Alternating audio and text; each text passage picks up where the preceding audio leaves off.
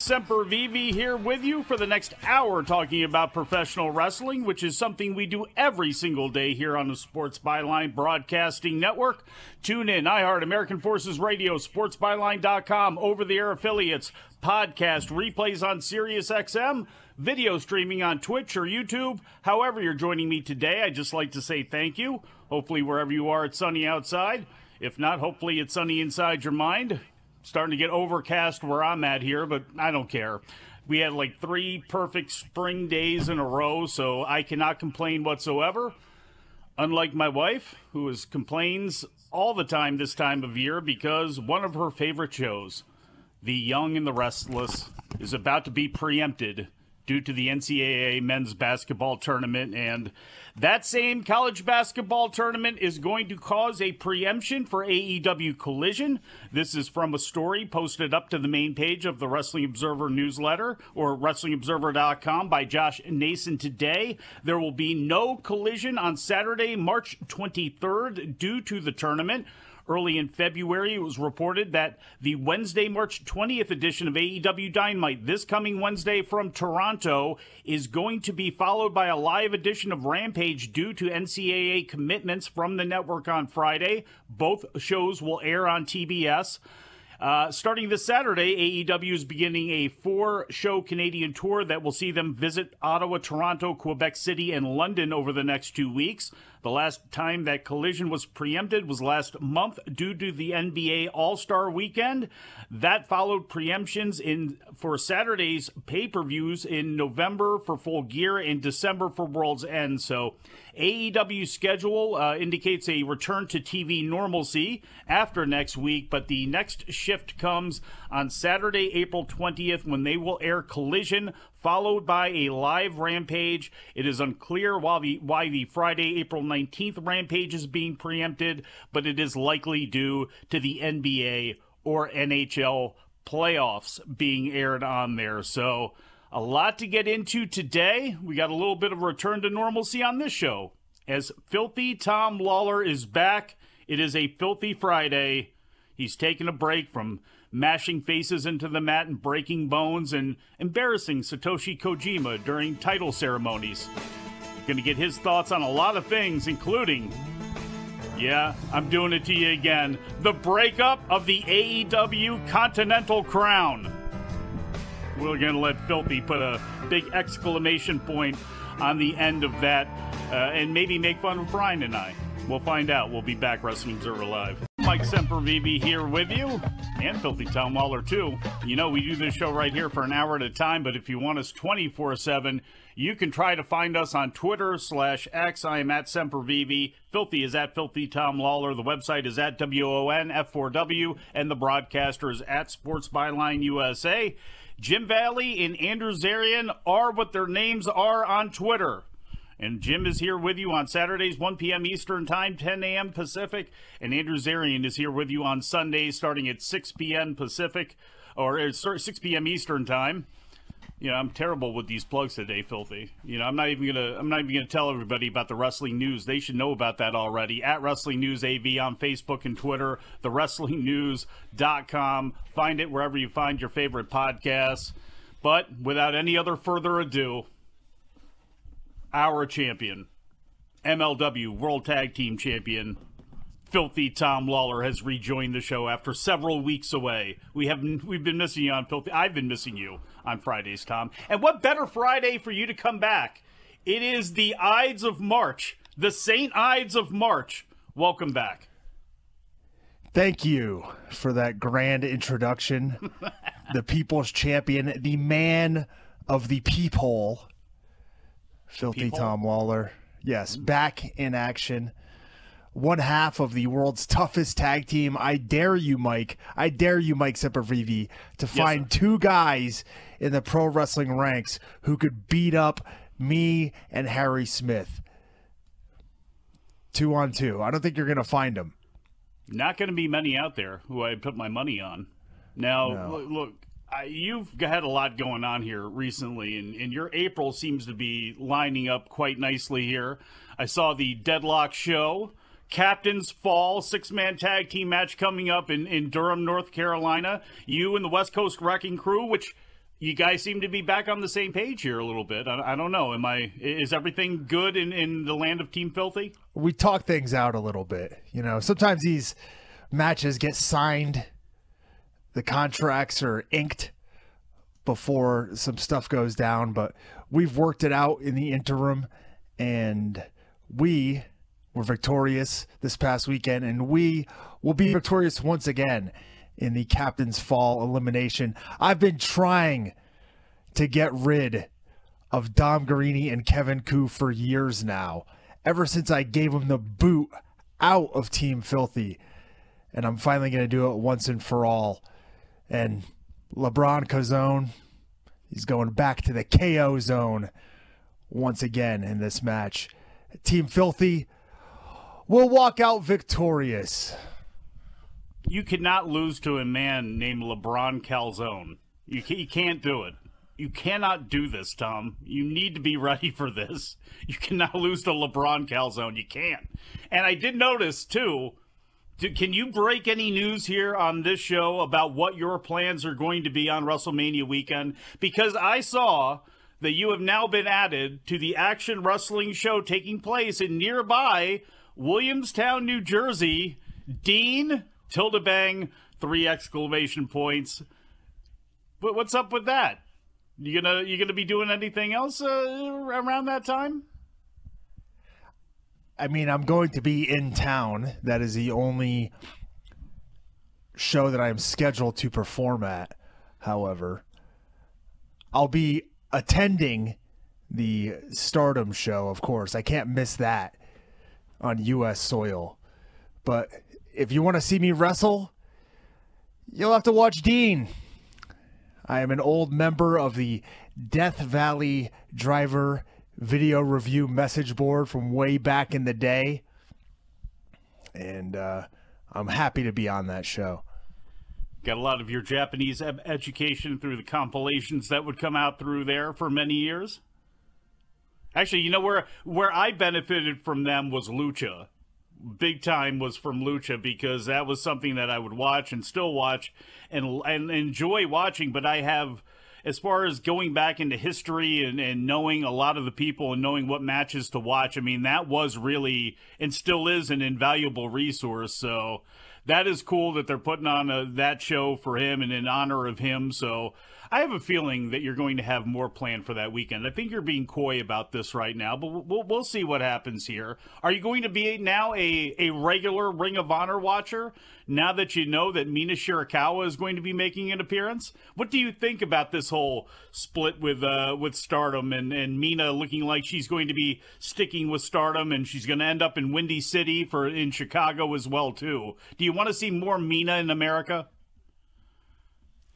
I think a lot of fans want to see more Mina in America.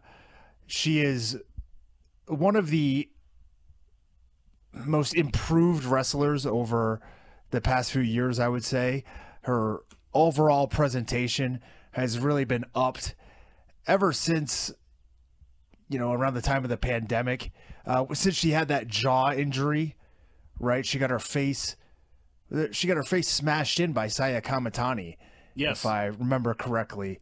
And uh, ever since she came back from that, she's really been in top form. So glad to see her on U.S. soil. It was a surprise, you know.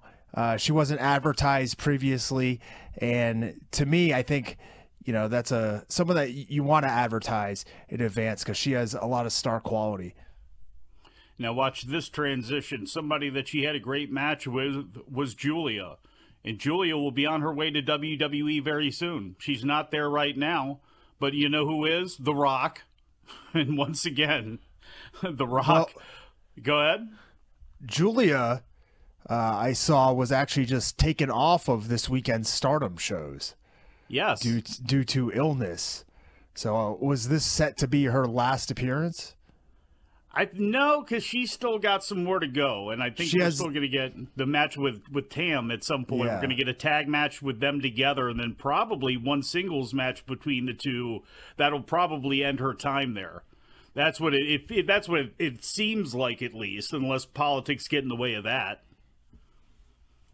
Well, clearly, it doesn't seem as if she's long for stardom. Although stranger things have happened, True, true, but uh, like I don't think The Rock coming back and not going through with the previously for years planned main event with Roman Reigns, and instead shifting to what we have now.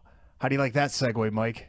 Uh, very, very good. Very good. And SmackDown tonight, live on Fox from the FedEx Forum in Memphis, Tennessee.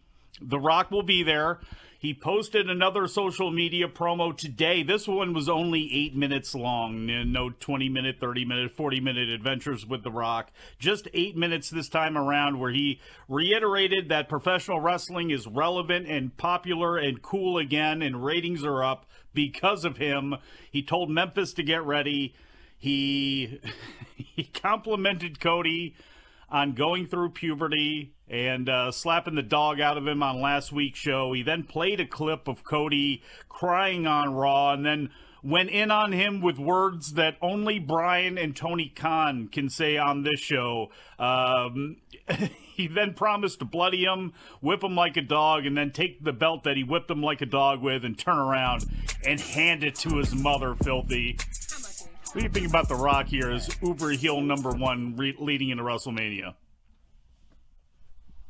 Well, what I think about The Rock is that he's doing the right thing. They've done a big out. shift. What the, that was a short bump. The music came on. I thought I had enough for you to, to hit with something, and Well, you just shut the music off, and I thought that we were. You guys are still on. I hit the music. Oh my gosh!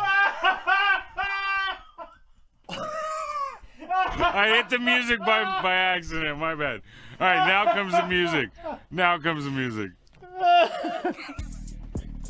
Well, Mike, I'll tell you what I think about The Rock on SmackDown tonight when we come back right after the break here on Wrestling Observer. We wish it wasn't live. Mike Sempervive, filthy Tom Lawlor.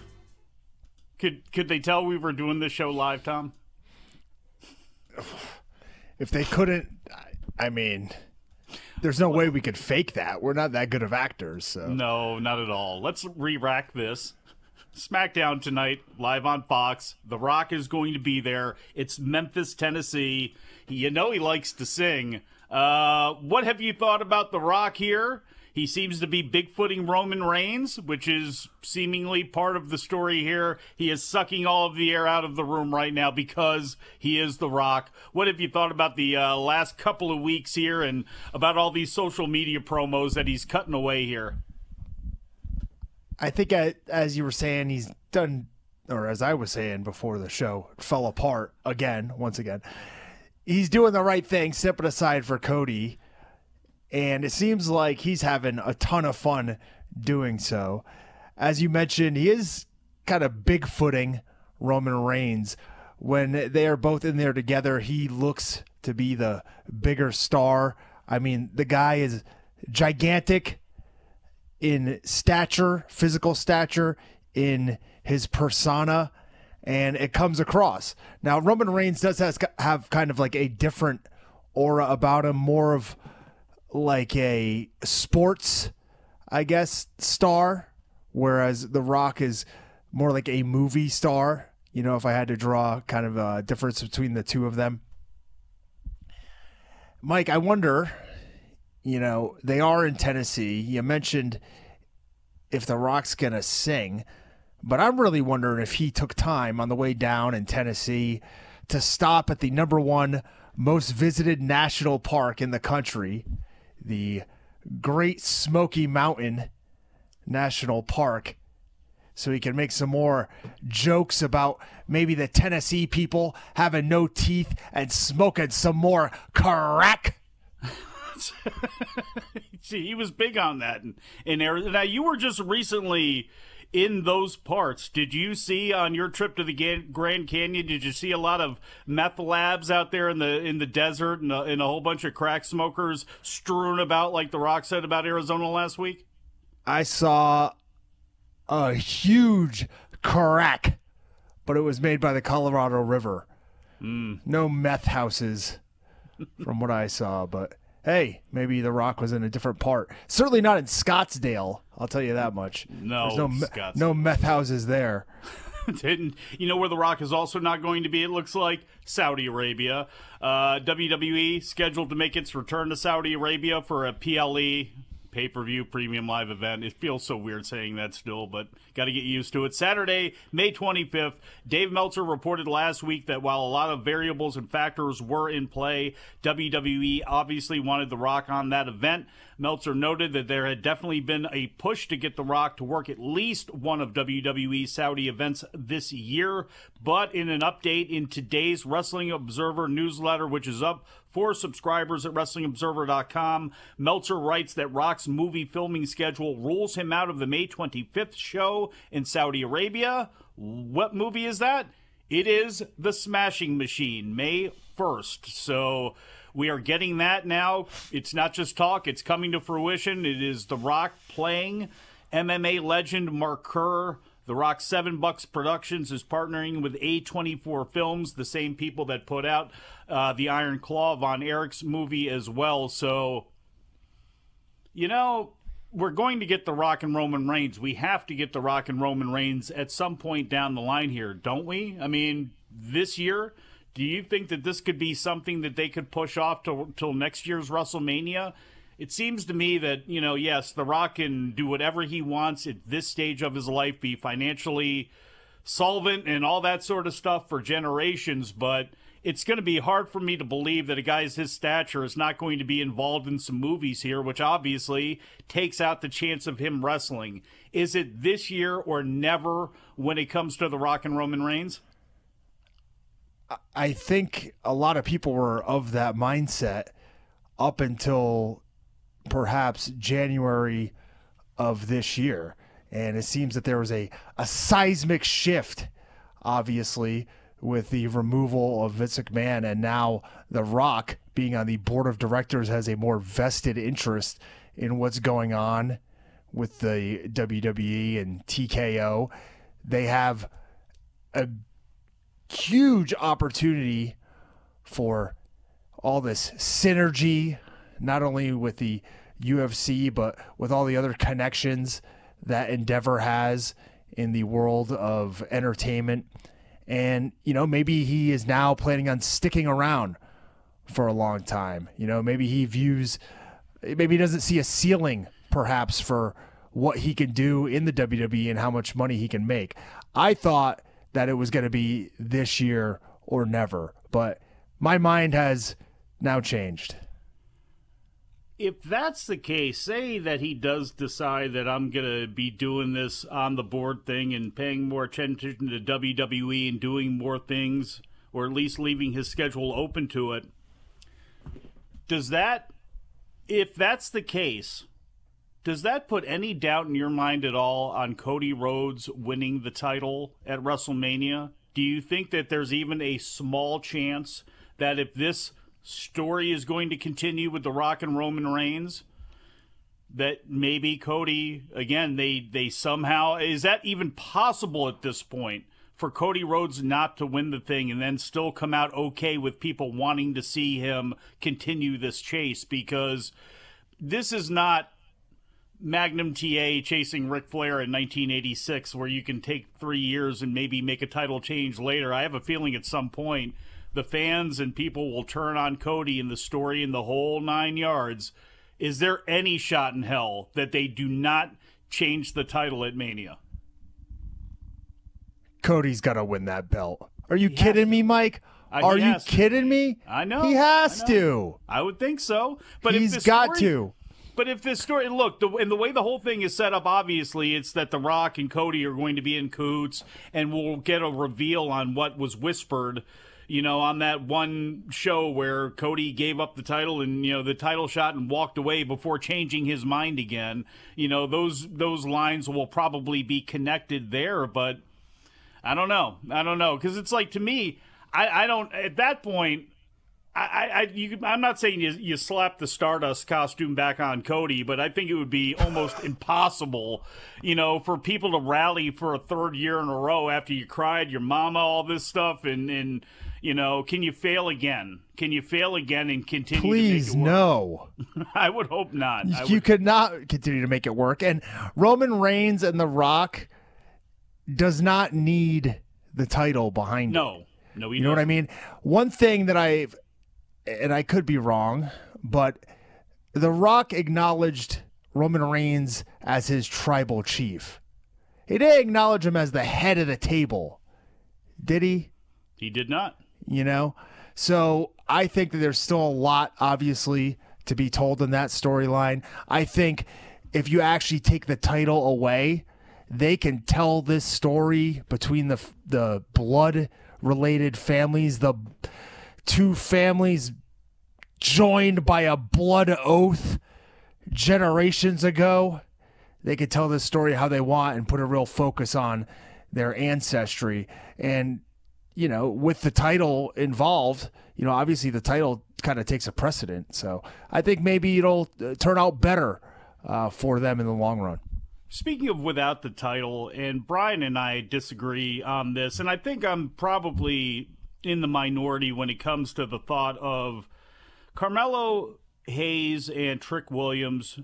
I understand why people wanted it to be for the NXT title, but I think you have something with Ilya Dragunov that is also special in its own way, and I think is also beneficial in its own way. And to me, Trick Williams and Mello just don't need that title. Trick needs the title at some point, unless he's going up to the main roster, you know, sooner rather than later. And as a guy like a Solo Sikoa, where you know th- that's never even a thought or a concern, belting him up or something like that. It- It's really not with the NXT main title, but when it comes to when it comes to the match, doesn't it to me it just seems like it has to be a violent blow off, a final way for Trick to get revenge and the NXT title would be I don't want to say superfluous, but it's it's unneeded in the story. What do you think? Because I, again, I know people want to see Trick as the NXT champion. I do as well too, but that can be further down the line. To me, he just really needs to get all of his revenge on Mello. Based on the reaction that Trick got weeks ago or a month ago when they were in Miami and he made the save for Mello, I would move him up to the main roster. I mean, he was over immediately to that crowd.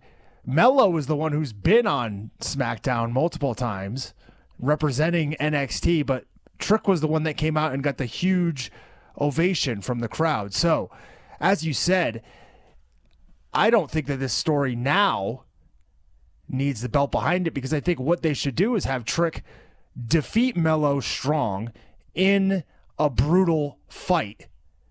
Probably not going to be more brutal than whatever Ilya Dragunov cooks up, but have give these two all the bells and whistles, let them have a big blow off match, and then move Trick and Mello up to the main roster after WrestleMania. I would love to see that. And technically, I mean, we've seen it happen a million times with it, whether it be Gargano and Champa or, you know, Owens and Zayn. You can do their team again and this breakup again on the main roster. And if you do it correctly, the people will buy in one more time to it. And the way that Trick Williams has gotten over in the last year or so, the organic reaction that was created and the groundswell that has come behind him, they are sitting in a good position right now when it comes to people up on the main roster. We'll be back, Wrestling Observer Live. Mike Sempervive, Filthy Tom Lawlor here with you. It's a Filthy Friday on Wrestling Observer Live. We don't know where Bryan Alvarez is. We don't care where Bryan Alvarez is, but we hopefully he's very happy and content wherever that may be. Tom, talking about Mark Kerr and the Smashing Machine and The Rock playing Mark Kerr in the in the upcoming movie that they're doing. Mark Coleman in the news this week, a hero saving his parents' life, uh, being hospitalized after that crazy situation where he was visiting his parents and woke up and saved them from a fire at their home.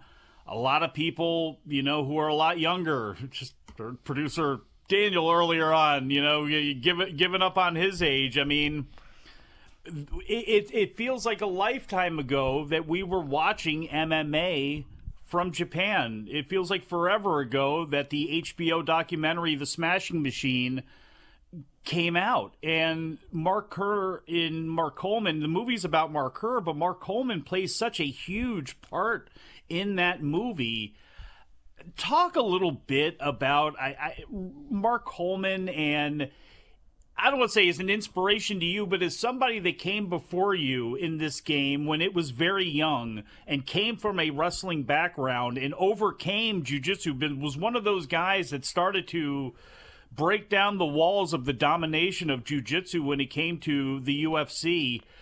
Can you talk a little about Coleman and his influence and how big of a of a personality and a force he was in this sport? Well, Mark Coleman, the ha- Mark the Hammer Coleman, was one of the prototypical wrestlers from the U.S.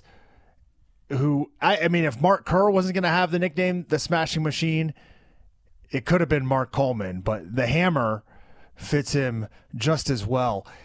Out of the wrestlers that we saw, Dan Severn, Don Frye, the guys that preceded him, he was the best of them. He submitted Dan Severn with a headlock. The headlock you see in pro wrestling in every match, a headlock takeover finish on the ground. Mark Coleman submitted Dan, Dan the Beast Severn with that. He beat up Don Frye badly. this guy was a wrecking ball. He was a legit hammer during his time. If headbutts were still allowed, he'd still be the UFC champion. That was, was that was always that was always the the thing on the internet.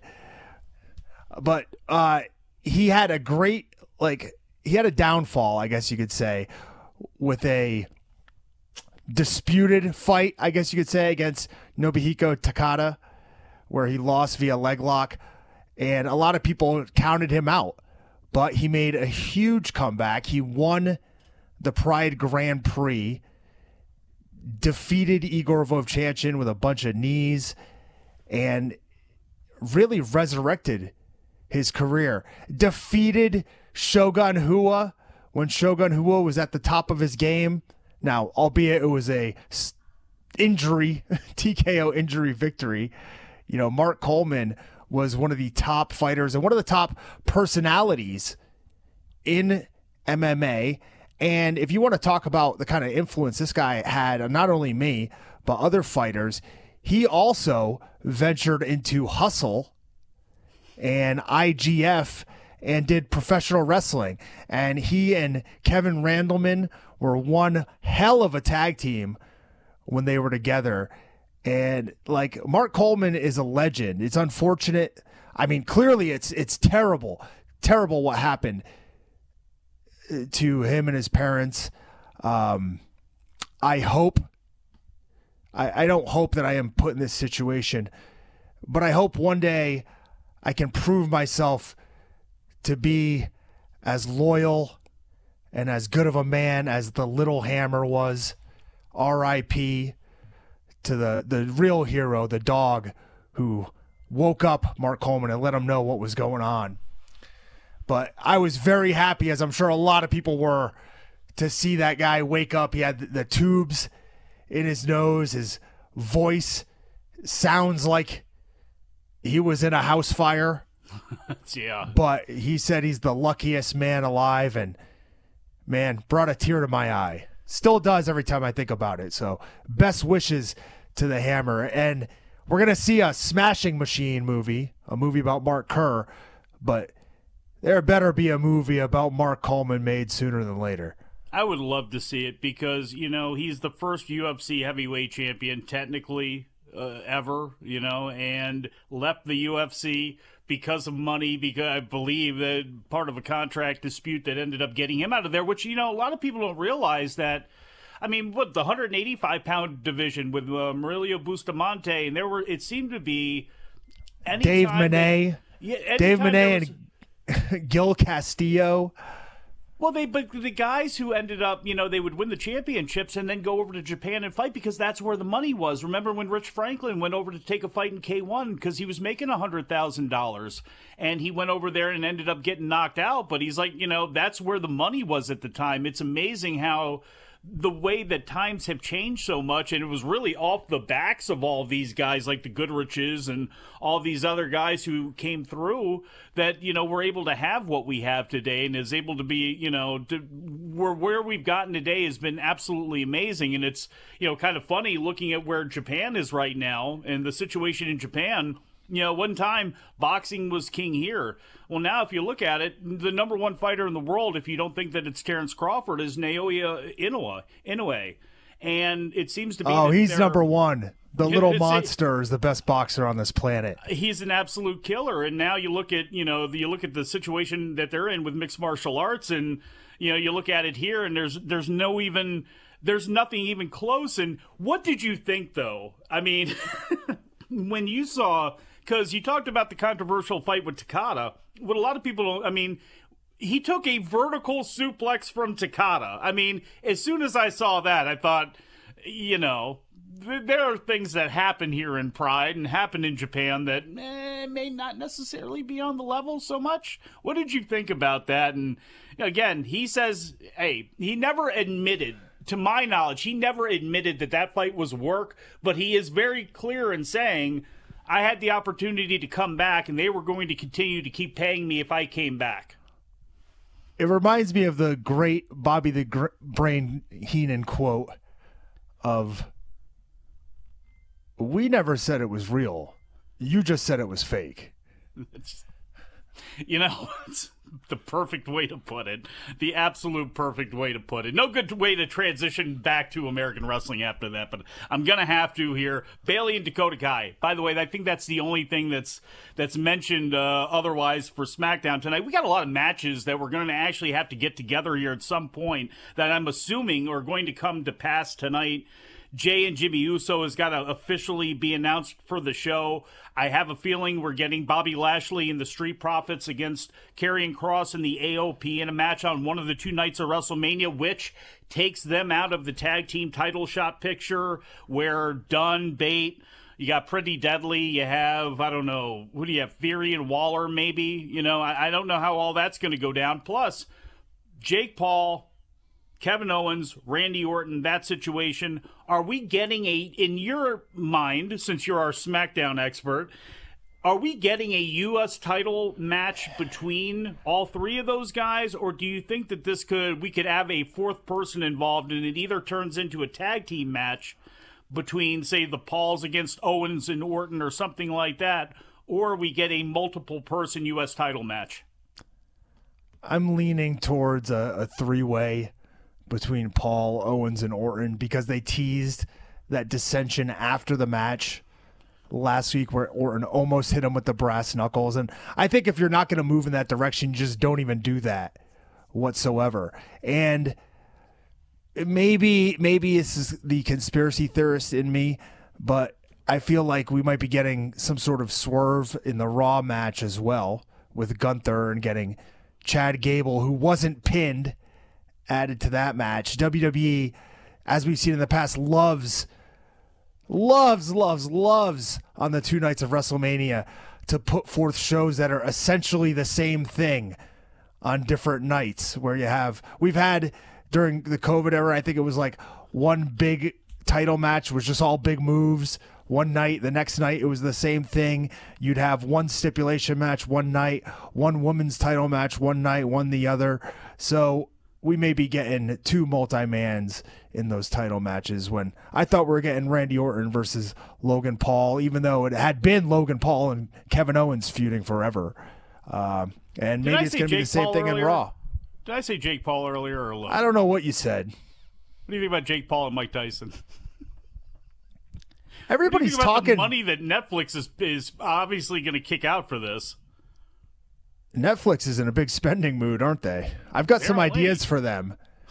So if they're well, look, if this to me this is so pandemic era and stuck in a you know a weird time, but you know, with that said, it's also you want to talk about a draw back to the old days of mixed martial arts in Japan on New Year's Eve. You get Bobby Ologun fighting Akebono or whatever it would be, and that's what this you know feels like a little bit. Although is I assume safely, I, I would think this is an exhibition, right? I mean, it, does anybody because there seems to be the mainstream media who tends to be really, you know, out of step when it comes to talking about anything when it's related to boxing. I mean, I have a feeling that mm, uh, a handful of them, at least, seem to think that this is going to be a real fight. I think we're going to get something more along the lines of Mike Tyson, Roy Jones Jr. Yeah. Than something along the lines of Logan Paul, Tommy Fury, or or I mean Jake Paul, excuse me, Jake Paul, Tommy Fury, or whatever, whatever bum cab driver, tomato can he just fought. Uh, I think this is going to be an exhibition. If you remember, even against like Roy Jones Jr., Tyson pulled his foot off the gas a little bit, and people are talking yeah. about, oh my God, he's fighting fifty-something-year-old Mike Tyson. Well, Tyson fought a few years ago, and he was actually moving around pretty well from what I remember. Now, a lot can go south in years over time, but uh, he looked pretty good in these short clips on the mitts, and I, I don't think that Jake Paul is going to try to take his head off. I'm just wondering. Now, as I said that, I was very apprehensive, thinking about uh, you know, what could happen? Is he going in there trying to pull a Tenshin Nasukawa and he's going to go after uh, Mike Tyson and get his head knocked off like Tenshin did against Floyd Mayweather? Or uh, what's going to happen here? That was an amazing exhibition as well too, because I'm sure Floyd was, would have been fine with taking that guy 12 rounds in the same way that he took Conor for however long that it was before he ended up, you know, you know, putting a, a, period at the end of that, but Nishikawa going out there just getting completely wiped out. Uh, yeah, did, didn't end up being the best thing there. Probably should get in a couple of notes here on AEW. Swerve Strickland revealed last night he's going to be performing at the Rolling Loud Music Festival in California this weekend. It's become the biggest festival in all of hip hop. And uh, he'll be performing on Sunday with Flash Garments as part of the DJ 5 Venom's appearance at the festival. The Big Pressure remix by Flash Garments and Swerve is what Swerve uses as theme music. Uh, obviously, Tom. Um, yeah, it, it's not exactly you know a solo performance at Hot 97 Summer Jam, but you know, feather in, in, Swerve's cap there, and obviously good attention that AEW could use to continue to pump this guy up as one of their biggest stars. We'll let you know what's going on with Rampage and Collision over the weekend, as well as Tom's thoughts on the New Japan Cup. Hopefully, they're short, sweet, and mean. Wrestling Observer Live. For VB Filthy Tom Lawlor here with you. A big, messy edition of Wrestling Observer Live today, Filthy, which, you know, hey, perfect for your return to the program. Perfect. It's what I love. Throw me right in the muck the muck, the mud, like AEW's ratings, right? That's what everybody, uh, the the ones that hate, boy, are they bringing this up. Wednesday's Dynamite, 801,000 viewers on TBS, a 3% increase from last week. 18 to 49 demo remained the same at 0.27. This does not include the overrun of the show you know, I know a lot of people are, you know, will want to jump on that number or anything, but you can't you can't fix it all overnight. Consistency is incredibly important when it comes to AEW, but Okada, Osprey, Mercedes, you got Kyle O'Reilly back, you got Pac back. At some point, you're going to get MJF and Jamie Hayter back. So, you know, to me, if you do the right thing by Jay White, Takeshita, Samoa Joe, Willie Hobbs, you start like doing something with those guys and fix your tag division, which you're set up to do right now with this tournament that is supposed to be kicking off you know, for what anybody says, they could be, they seem to be in a good position here for the rest of the year. But again, it's a lot of dotting I's and crossing T's with this company, Tom. Yeah, I think they're in a fine position. You know, the ratings, when you look at it in the grand scheme of things, the ratings are fine. They're doing good against what else is on television. And I think, like you said, they're set up for some big things. They've got one of the most stacked rosters that we've ever seen in the history of professional wrestling. Like I wish I could have everybody that they have on that roster on the Fight Forever video game. It's an AEW and WWE's roster as well too, with the NIL guys that are for what anybody says about that program. And I was wondering how it was going to work when you're getting Oba Femi and Bronco Nima and Lucien Price looking good, all the young people that they have and the other folks that they have with them too. Right now, wrestling is in a very, very good position unless you're really upset over the Continental Crown being broken apart, which I got to be honest, Tom, Hey. real quick. What did you think? Hey, I'm not upset because maybe finally I'll get my return match for that New Japan Strong open weight title. And if I don't, uh, heck, even if I do, I'll probably still be on these airwaves with you because this is what I love doing, Mike. Thanks for having me. Champions, we shall talk to you again after a while.